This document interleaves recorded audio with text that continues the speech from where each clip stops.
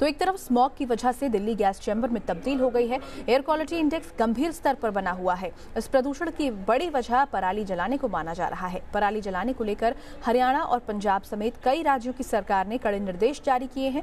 किसानों को पराली को लेकर जागरूक करने की कोशिश भी की जा रही है। लेकिन इस बीच किसानों के कुछ संगठन विरोध पर उतर आए हैं। पराली जलाने पर हो रही सख्ती का विरोध भी तेज होता जा रहा है।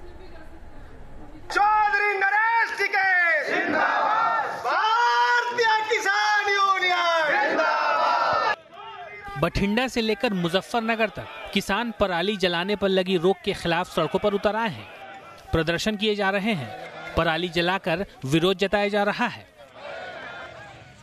पंजाब में पराली जलाने पर लगी बंदिश को लेकर किसान बागी रुख अपनाए हुए हैं। तस्वीरें पंजाब के बठिंडा की हैं। यहाँ डिप्टी कमिश्नर के दफ्तर के बाहर किसानों ने पराली जलाकर अपना विरोध जताया।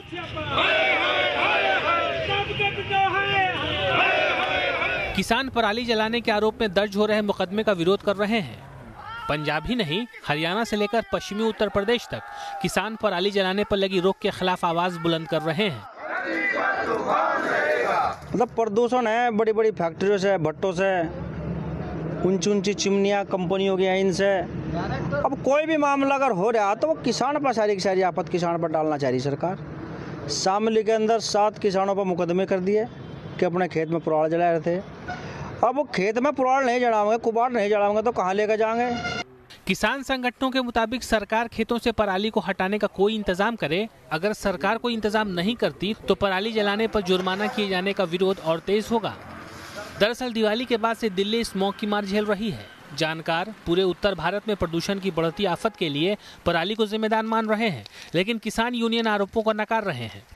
पिछले साल कहती थी, हम इसकी गाठें बनाएँगे इंडस्ट्री लगाएँगे इससे बिजली पैदा करेंगे। कुछ भी, कुछ नहीं गवर्नमेंट ने किया। सिर्फ़ किसान क्यों दिसता है, इतनी इंडस्ट्री पोल्यूशन कर रही है, इतनी गाड़ियाँ पोल्यूशन कर कर रही है, गाड़ियों को बंद कर दें ये दिन हफ़्ता दस दिन गाड़ी बंद कर दें इंडस्ट्री बंद कर दें पट्ठे बंद कर दें। पराली जलाने को लेकर सुप्रीम कोर्ट भी सख्त टिप्पणी कर चुका है। 4 नवंबर की सुनवाई में शीर्ष अदालत ने दिल्ली और केंद्र सरकार को प्रदूषण पर तत्काल कदम उठाने का निर्देश दिया है। कोर्ट ने कहा कि राज्य मशीनरी कोई कार्रवाई नहीं कर रही है।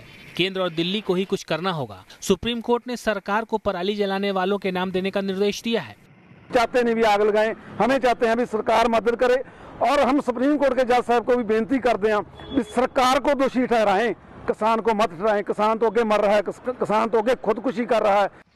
एक तरफ़ किसानों का दावा है कि वो मजबूरी में पराली जला रहे हैं, दूसरी तरफ़ सरकार सब्सिडी देने का दावा कर रही है, लेकिन इन सब के बीच दिल्ली की आबो हवा जहरीली होती जा रही है। Team news nation.